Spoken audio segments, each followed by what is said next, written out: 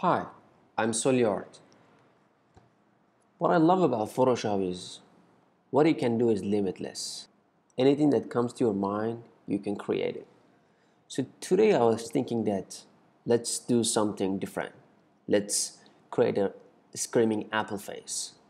So to show you guys how exactly I did that, actually there are just very simple principle that you should know about. The shadows and the layer and the layer mask most of the time. So let's get started. So I'm just gonna get rid of all this stuff that I already have.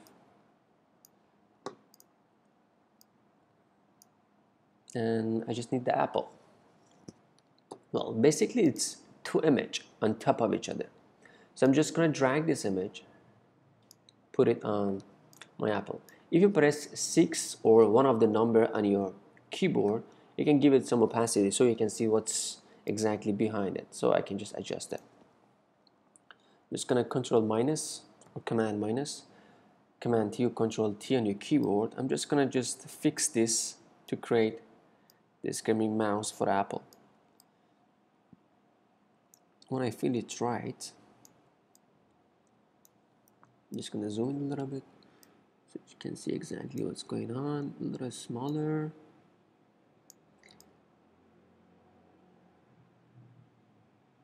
I think now it's fine. So I'm just gonna press OK.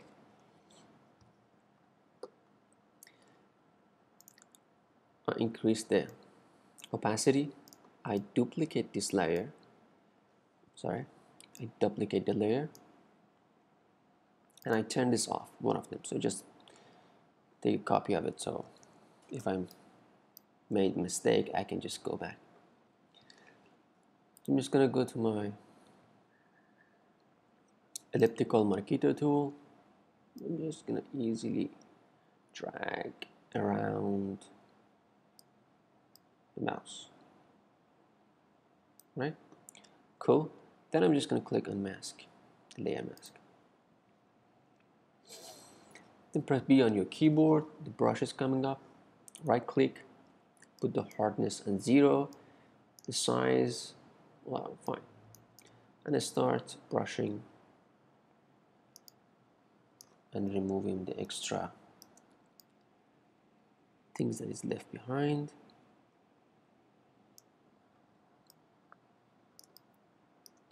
Just gonna do a quick remove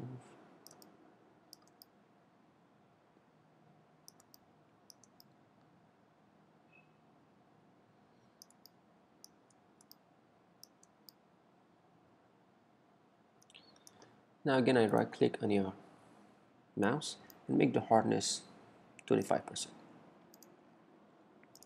Then with your left bracket you can just I'm just gonna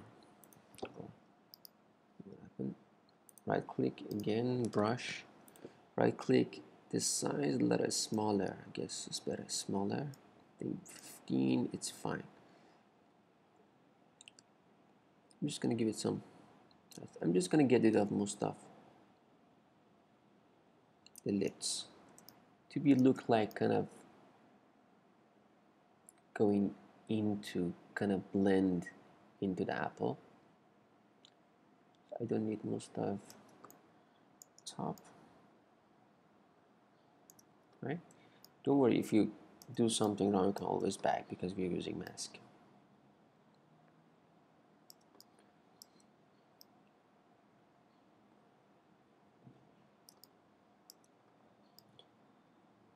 So harsh edge is better because I can see that it's kind of blending in.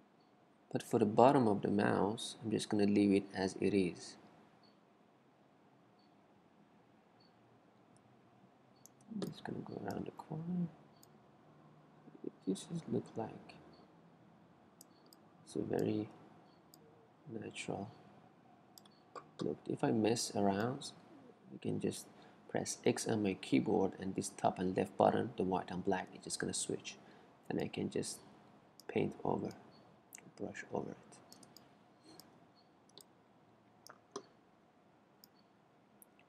I think right now this is kind of it's cool. and it's it's okay I can just come here and make a little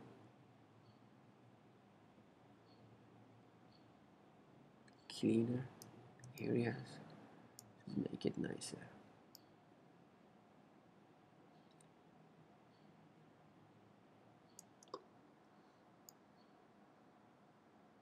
Hmm.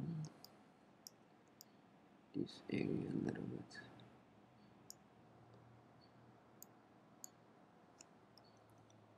Right. Okay this is fine. The next thing I have to go to my this little icon here. They call it adjustment layer. Then I click the hue and the saturation. Active the colorize button and press the invert. Now we can adjust and see what's going on exactly. I'm just gonna give it a really exact color match.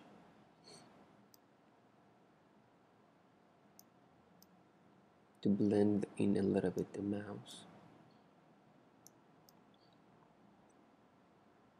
Okay I think this is kind of cool.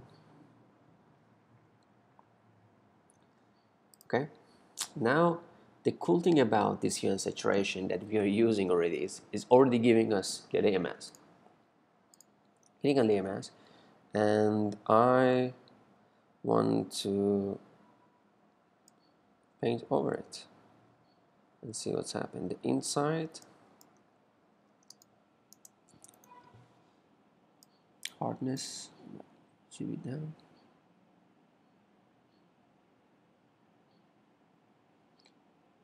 don't worry about the area that we can always go back and just fix it.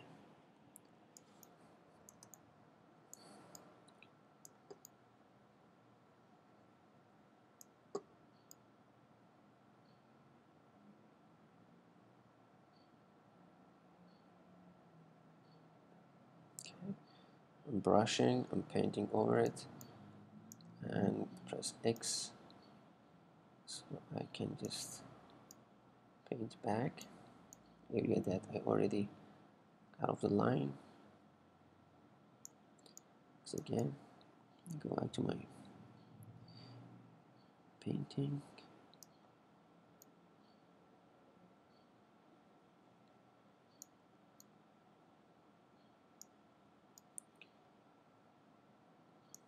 Okay.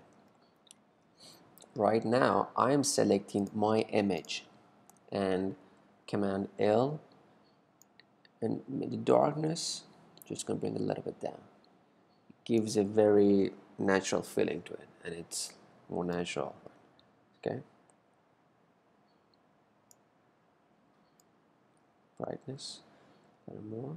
So now press OK. I think the mouse is okay then I'm going back to my another layer. I'm just to bring this on top. Press 5 on my keyboard. Just to go back press 5 so I can see the opacity. I'm just going to adjust the eyes. The eye is so big. I'm just to command T. Control 0 is just to show me the all layers command plus plus plus. It's going to little rotate these eyes.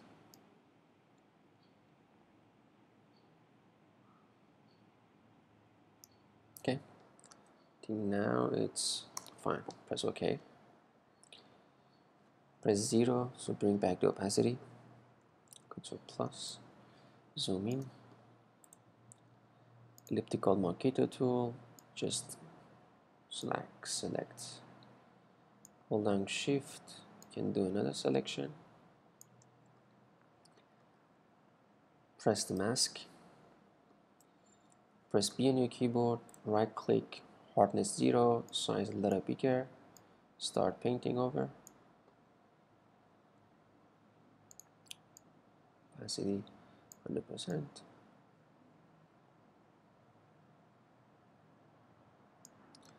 zoom.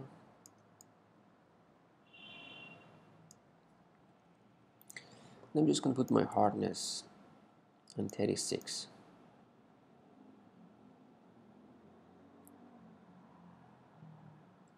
Okay, just going to go over.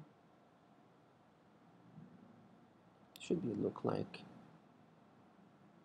it's going inside.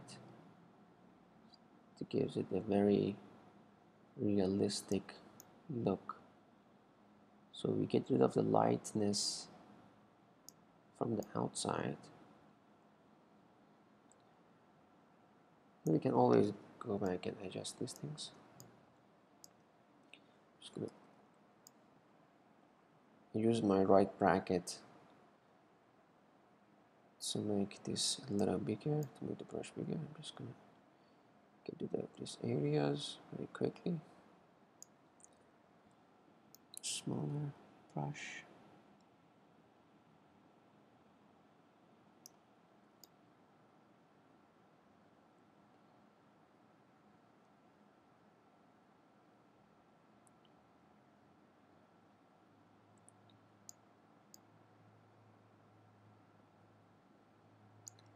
this was a little too much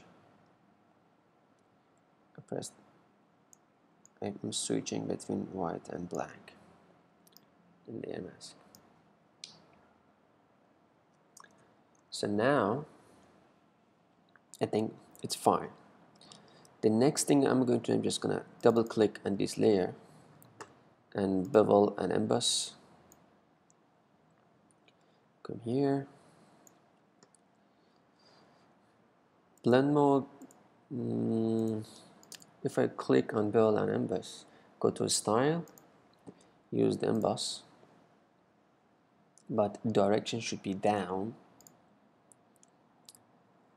then I can just bring the size a little bit up and down to make it more realistic. I think down is better 5 we can play around with it.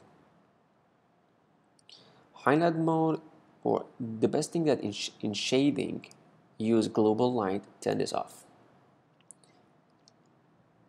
In opacity in highlight mode click on this white color and pick up the brightest color in your image.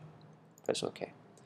Bring down the opacity a little bit. So you see, see these lines below the eyes. We'll fix it later. Then click on the multiple shadow but I forget to in highlight mode but then put it on color dodge it's make it bright. Bring down opacity. Now it's nice. Click on the shadow mode and choose a dark area for the top. Press OK now click OK so we are going back to our, our mask and I'm just gonna paint over again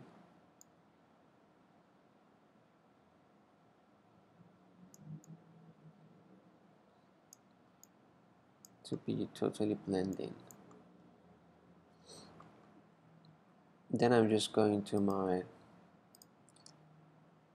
this adjustment layer. Hue and saturation again. I'm holding down my space to bring this and I'm just going to see what I'm going to do. Colorize it. Invert it now I'm just going to adjust a little bit.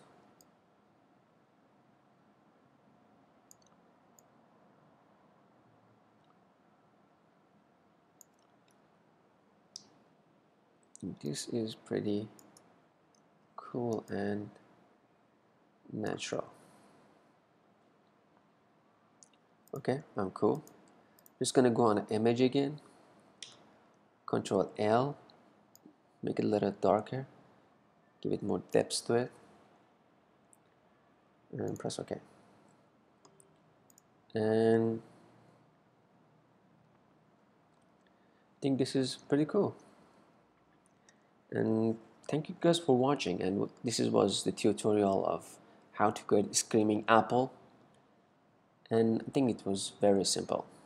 Thanks again